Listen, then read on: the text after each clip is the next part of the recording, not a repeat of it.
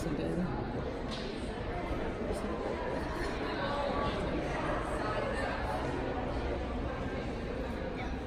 Carsyn, just tell us a little bit about why you chose Lakeland.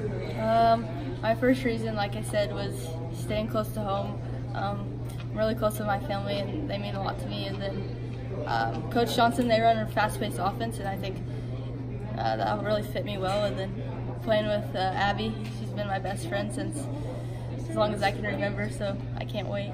Speaking of playing with Abby, it's got to feel it's got to feel nice to play with a teammate that you've been so close with. I mean, explain that a little bit. Yeah, I think like on the floor, like we always know where each other are, and I think that's really going to help moving forward um, for both of us. What's the thing you're most looking forward to when you go there, and what are you studying? Um, I'm just going to look forward to meeting new people and just um, uh, developing my game even more. Um, I'm studying biology.